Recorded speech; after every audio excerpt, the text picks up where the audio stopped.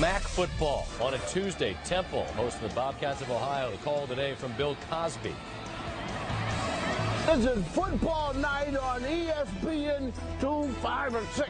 But it's the Temple Owls against the Ohio U uh, Chitlin Legs in the city of Philadelphia.